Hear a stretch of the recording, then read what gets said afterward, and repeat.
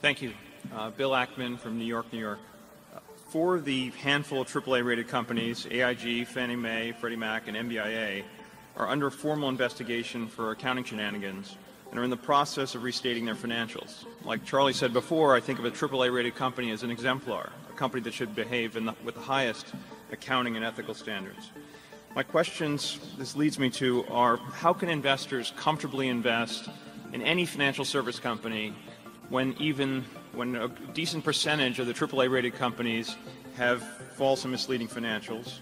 And I guess the follow-up question is why don't the rating agencies do some independent due diligence uh, from an accounting standpoint so that they can help serve as a uh, watch on this issue?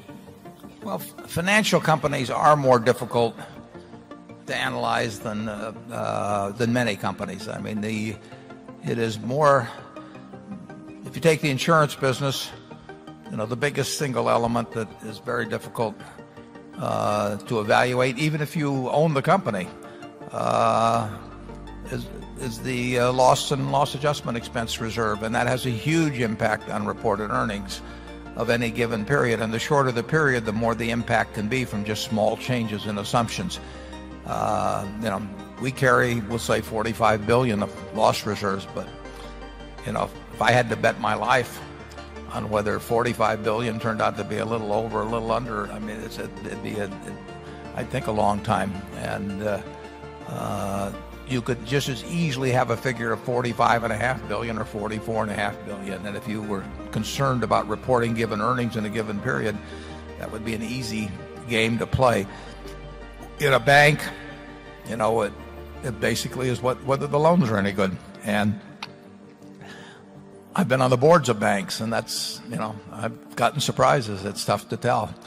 Uh, it's financial companies. If you're analyzing something like WD 40, you know, or See's Candy or um, our brick business or whatever.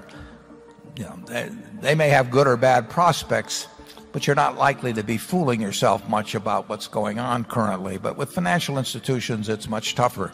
Then you get add throw in derivatives on top of it, and you know it's it's no one probably knows you know perfectly what some of it or, or even within an a reasonable range the, the exact condition of some of the biggest you know, banks in the world. And, but that brings you back to the due diligence question of the agencies.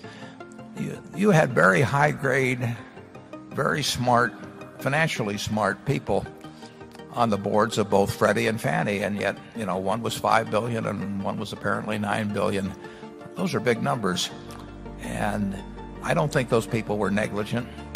And it's just it's very very tough to know precisely what's going on in a financial institution charlie and i were directors of Salomon and charlie was on the audit committee and i forget the size of a few of those things that that, you found but you know what that, that you found but you know what what what wasn't found and that isn't that doesn't mean the people below are crooks or anything like that it just means that it's it's very tough with thousands and thousands and thousands of complicated transactions, sometimes involving the computations involving multiple variables. It can be it can be very hard to figure out where things stand at any given moment. And of course, when the numbers get huge on both sides and you get small changes in these huge numbers, they have this incredible effect on quarterly or yearly figures because it all comes lumped in. Those adjustments come lumped in a short period of time. So I just think you have to accept the fact that insurance, banking, finance companies, we've seen all kinds of finance company, uh, both frauds and, and, and just big, big mistakes over time, uh, just one after another over the years. Uh, and it's just a more dangerous field to analyze. It doesn't mean you can't make money on it. We've made a lot of money on it, but but it's it's difficult. Now, obviously, a Geico, where you're insuring pretty much the same thing, auto drivers, and you get your statistics are much more valid in something like that than they will be if you're if you're taking something that uh, like asbestos liability. Uh, you're, you're subject to far greater errors in estimation. Doesn't mean that people aren't operating in good faith.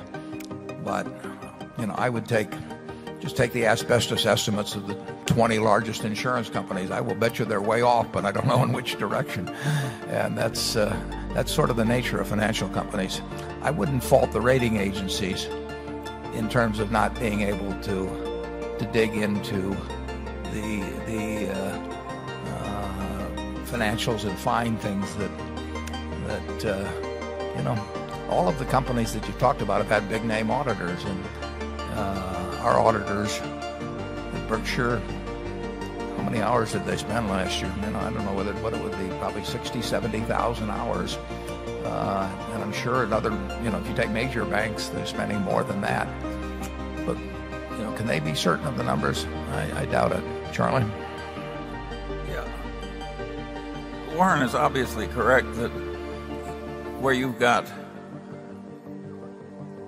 complexity, which by its very nature provides better opportunities to be mistaken and not have it come to notice or to be fraudulent and have it not be found out, you're going to get more fraud and mistakes than you are if you're selling a business where you shovel sand out of the river and sell it by the truckload.